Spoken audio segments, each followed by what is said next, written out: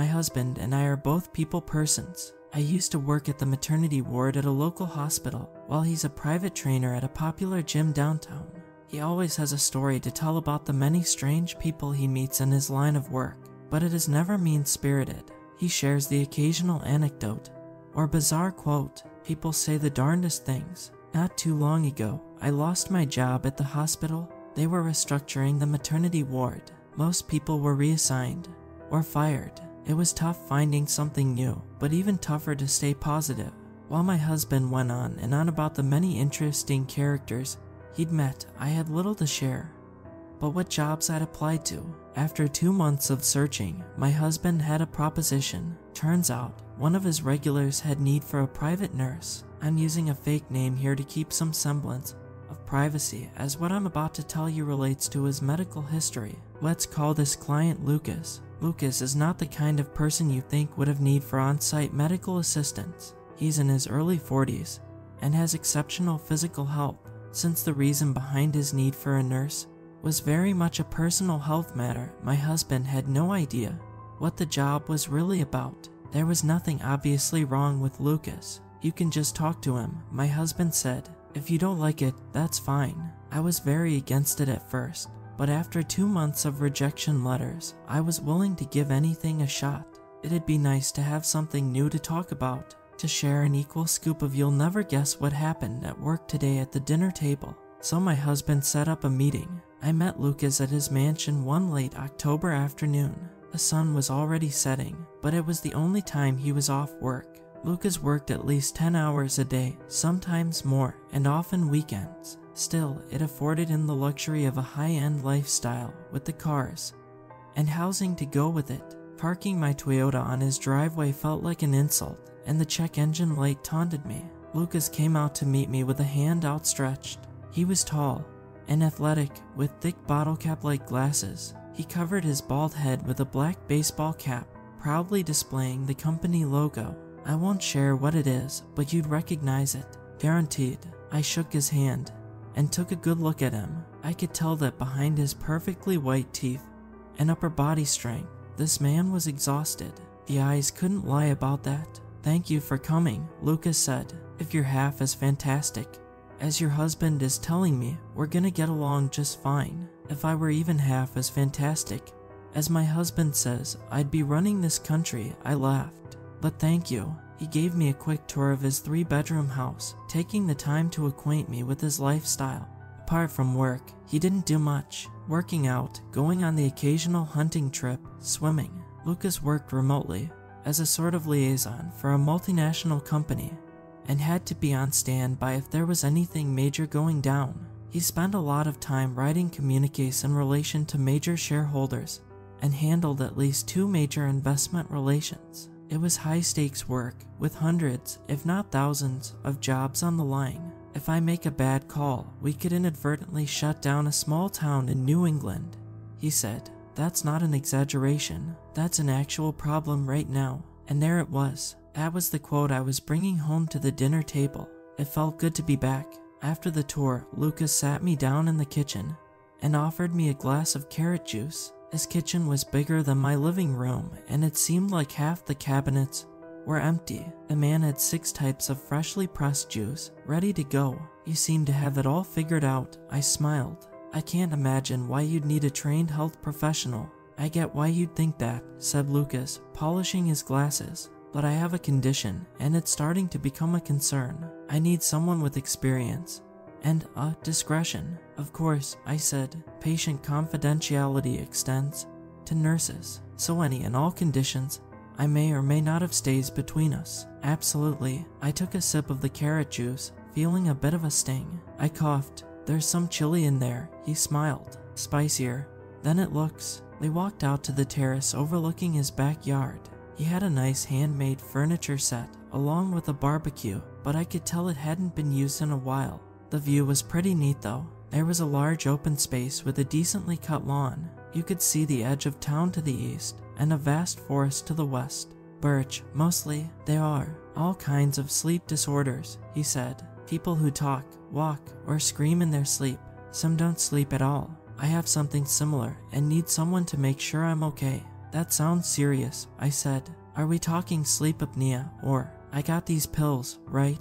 Lucas said, rattling a pill bottle. It's like turning off a light, knocks me out cold. It's the only way I can sleep without being a danger to myself, but they're a pain in my ass. The side effects are nasty. What happens if you don't take them? That's what you're here for, Lucas sighed.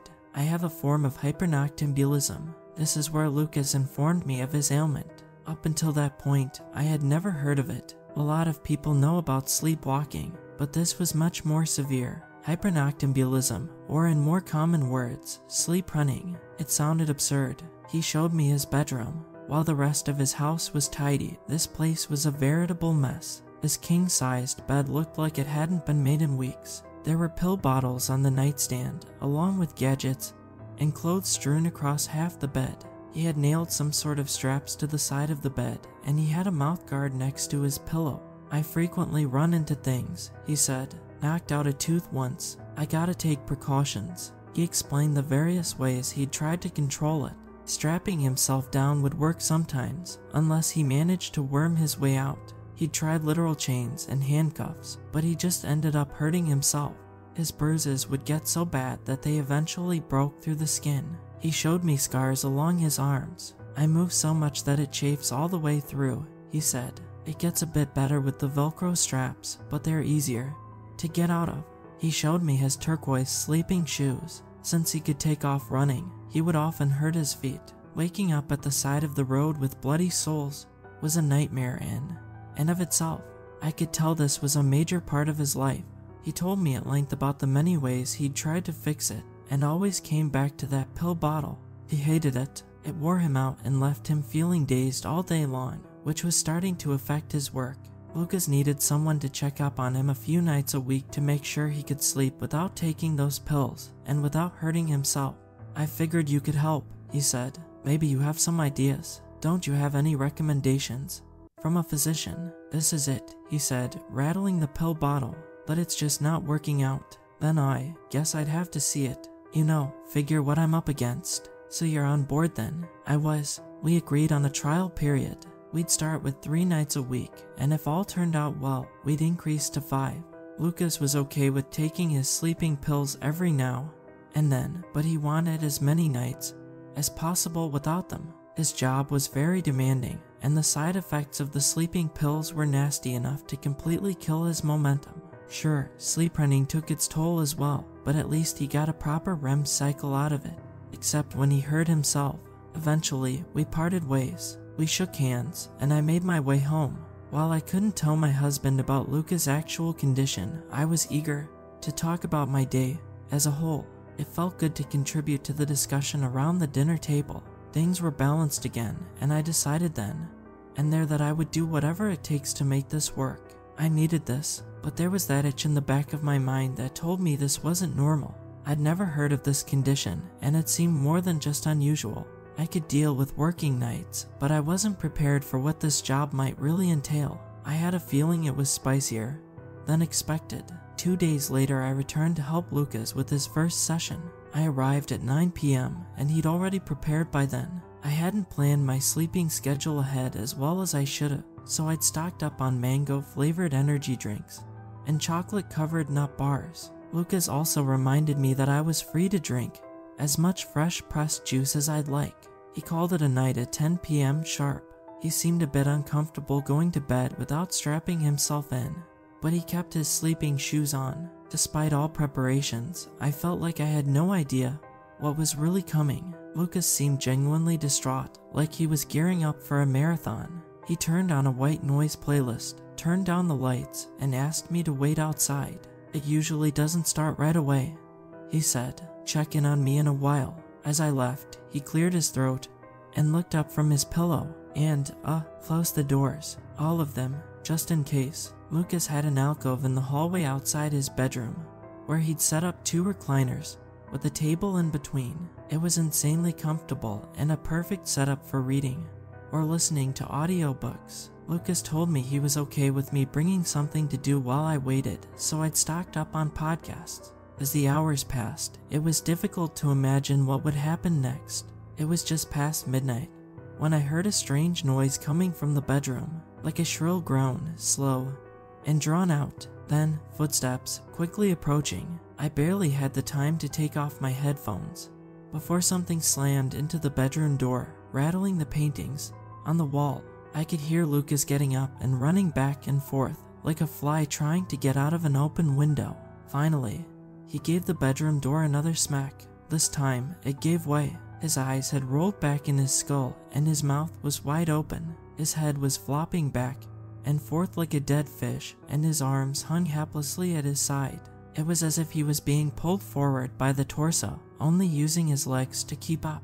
For a second, he just stood there as if pondering his options. Then he started running. I didn't know whether to get out of the way or tackle him, so I did neither. Instead, he just passed me by, smacking my shoulder as he went along. He hurried down the stairs, clearing three steps at a time and slamming into a wall as the stairs curved to the left.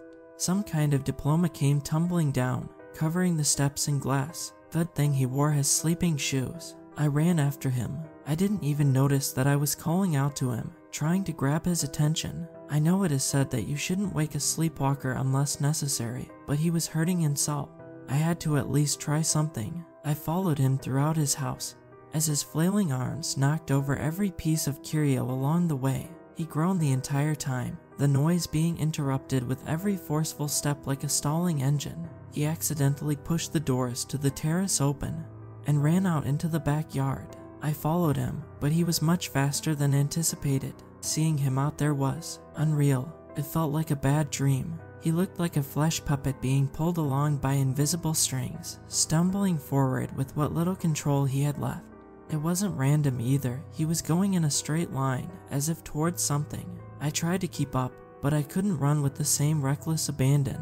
He was getting away, and I was already getting winded. As he reached the edge of the birch forest, his poor motor skills caught up with him as he ran headlong into a birch tree. By the time I got to him, he was having some sort of micro seizures. He wasn't breathing. I'd left my phone upstairs and couldn't call for help, so I had to act fast. I rolled him onto the side, put my arm under his head, and started smacking him between the shoulder blades. Three or four smacks later, I heard his breathing return, slow and steady. He was okay. Lucas took his pills and dreamlessly passed the night. We scheduled another trial two days from then, giving me some time to process what happened and plan ahead. I'd never seen anything like it before. I was no stranger to patients having seizures or wandering off in a stupor, but this, this seemed coordinated, purposeful, even. Two days later, I met with Lucas again, a bit earlier this time, so we had time to discuss precautions and what steps to take. I could tell he was having trouble concentrating, probably a side effect from his sleeping pills. He had trouble making complete sentences. I didn't have a lot of ideas. Just strapping him in would be a temporary fix, but I figured we needed something more permanent. As Lucas stepped outside to take a phone call, I wandered around his house looking for inspiration, and I found something. I don't know if it was brilliance or stupidity, but Lucas had a home gym. Among his possessions were this state of the art treadmill. It was wide enough for two people to fit and had a ton of settings, including a dynamic speed based on how fast you're running. When Lucas came back, I pointed at it. Have you tried setting this up? I asked. You could run for hours on this thing. I can't really control it, he said, but you could try guiding me onto it. You'd think that's crazy. No, no, he smiled. Quite the opposite. We moved it up, set up a dynamic speed, and placed it by his bed. We had it in a direct line from bed to door, hoping he would run straight onto it. I also suggested covering the door in protective foam and installing a bolt lock on the outside, something so he couldn't accidentally open from the inside. He was very receptive and even though it was all just loose ideas, he wrote it all down. Lucas was nothing if not thorough. That night, I only stayed in the hallway for a short while, waiting for him to fall asleep. Then I went inside and watched. I'd adapted my sleep schedule a bit and didn't need quite as many mango flavored energy drinks that night. I made do with some chili carrot juice. Most of it was left on the table next to me though. I was too nervous and kept tapping my foot. It echoed off the hardwood floor. Just short of midnight, Lucas started to stir. I got up and readied myself. It was such a strange sight. In one swift motion, he went from sleeping to a sit up to kneeling to full on sprinting. I placed myself between the treadmill and the door, hoping to tackle him if he missed it. Luckily, he didn't. In two steps, he was on that thing, and the electric motor hummed to life. At first, I thought he'd be too quick and accidentally tumble over it, but the dynamic setting kicked in and adapted to his pace. Seconds later, he was running at a steady pace. The bars on the side kept him straight. At first, I laughed. It was a relief to see it work. It was such a strange solution, but it was simple enough to do the trick. But all the excitement started to fade as I got a good look at him. His blank eyes, the wide open mouth. I couldn't get over just how alien he looked and how misappropriated his body was. It really looked like he was using it wrong, like he didn't know what to do with it. And those eyes, there was something there. There was something behind them, something purposeful. It made me cold in my stomach, like I'd swallowed a block of ice, like I was watching something profound and inhuman. Lucas had slowed down to a jog after about an hour and fully stopped somewhere around 3 a.m. By then he just stood there, looking straight ahead with those white dead eyes. Eventually, those eyes closed, and he crawled back into bed. By 6 a.m., his alarm went off. He took a shower and met me downstairs for breakfast. I could tell he was in a good mood the way he hummed along with the radio. I told him what had happened, and he was elated. This is amazing, he laughed. Just amazing. You have no idea. He finished up some pancakes, served with cucumber water, and a few slices of an orange. He plopped down on a chair across from me. I feel so energized. I ran it off. No bruises or broken bones, just a little sweat. This is beyond amazing. I'm glad we could work something out. I smiled. You think you're still going to need my services? Are you kidding? He dried off his hand and reached out to me. I'm gonna need you at least five days a week, maybe six if I'm busy. This changes everything. I considered it. Did it be a challenge to stick to that kind of schedule? But the pay he offered would far surpass what I'd made at the maternity ward. Besides, I could probably get used to it.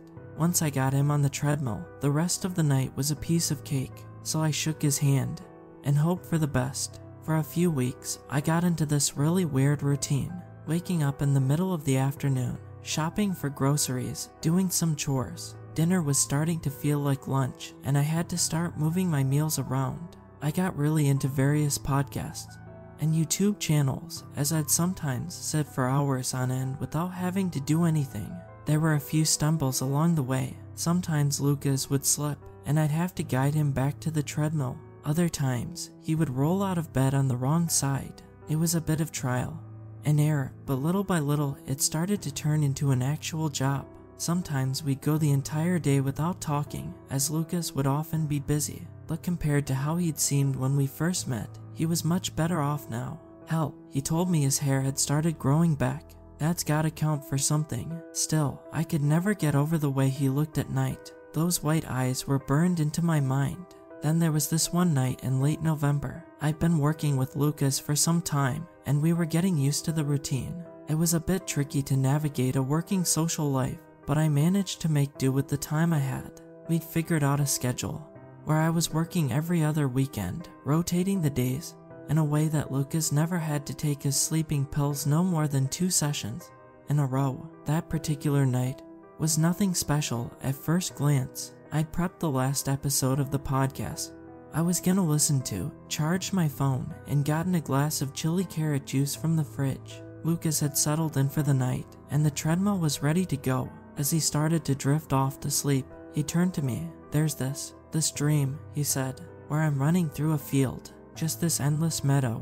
I have all these friends, and we're going home. It's the final day of school, first day of summer. Sounds wonderful. It is, he smiled. It really, really is. He turned away and sighed. Makes you want to run. As he fell asleep, I got ready to steer him towards the treadmill. I was waiting for the sit up, the kneeling, and then the sprint. It was routine by then, but I still couldn't get over that unsettling feeling I got when watching him move.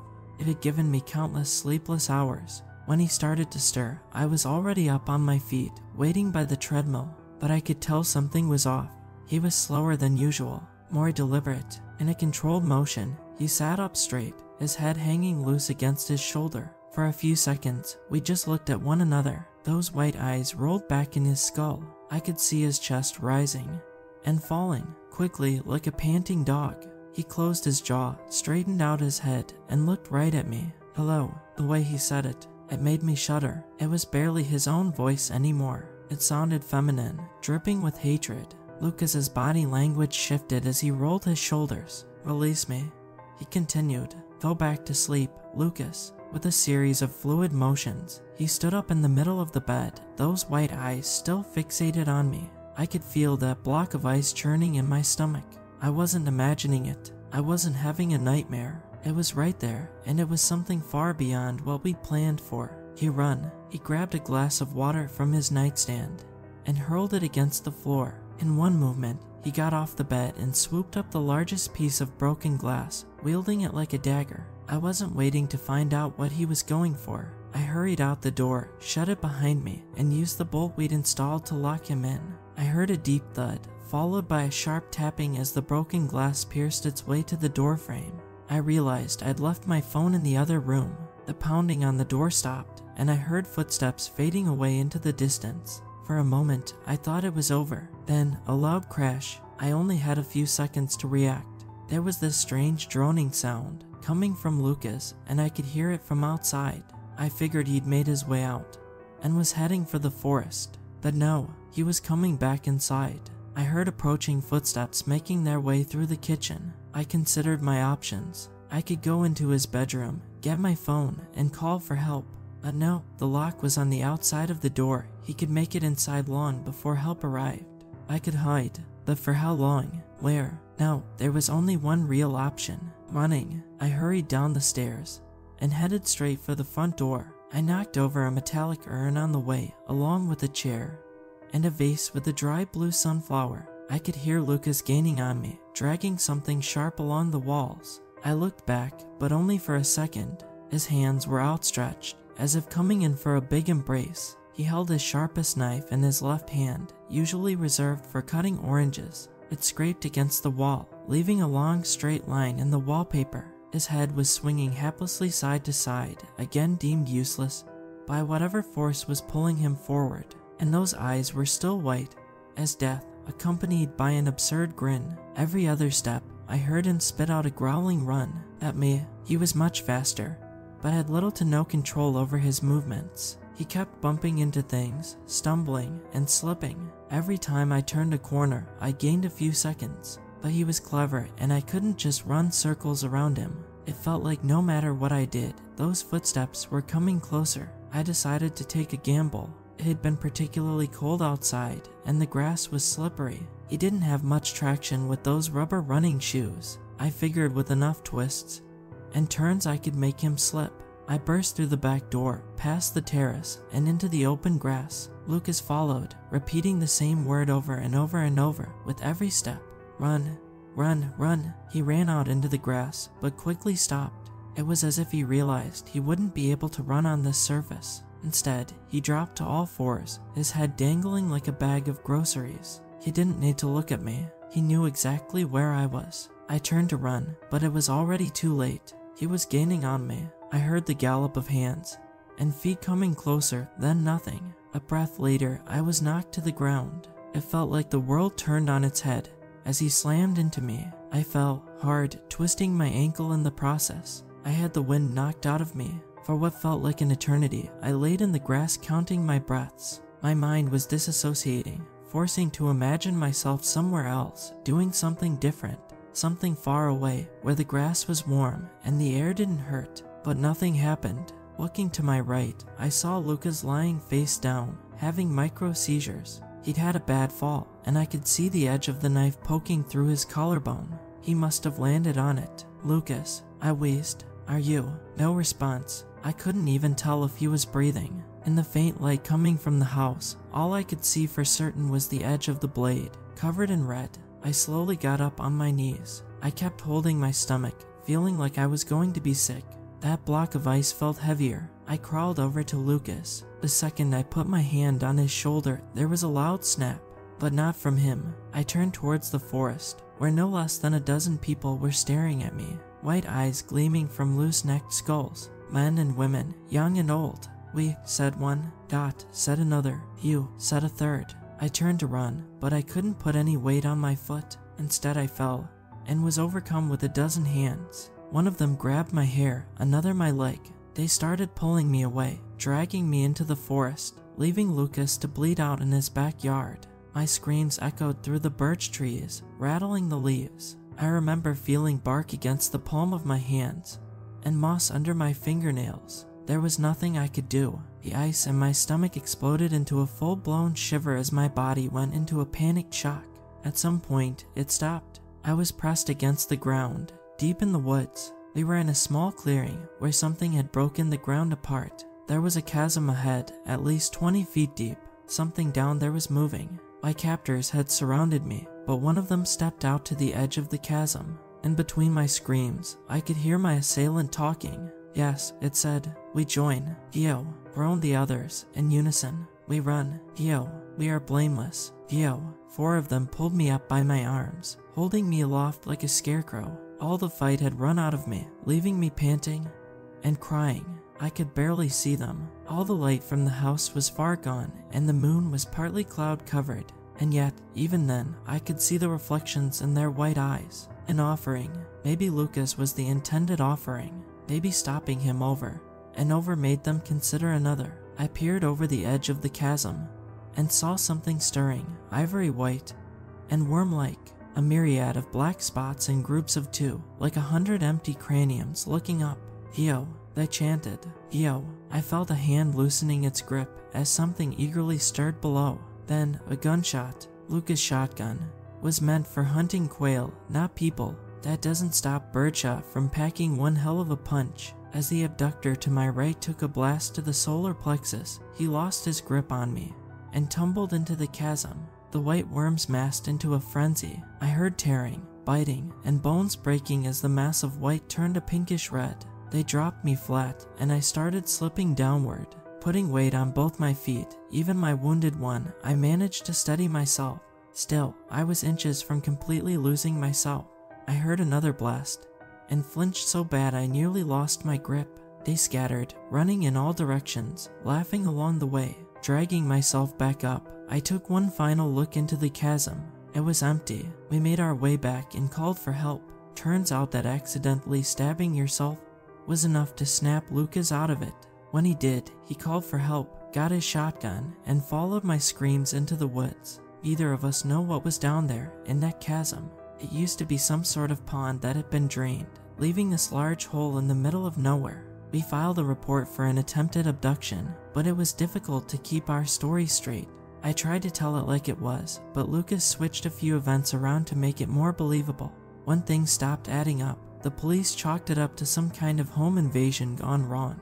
There were no arrests. In a strange twist of fate, this somehow cured Lucas of his sleep running. He explained it like a deep rooted feeling that whatever had been trying to lure him out had sorta lost interest. Maybe they were looking somewhere else, or figured he wasn't worth the trouble. But even now, long after the fact, I still have nightmares about it. I remember feeling so helpless, watching the world pass me by as I'm drawn deeper into the woods. And sometimes, according to my husband, I've started sleeping with my eyes open. And when I do, my eyes are white,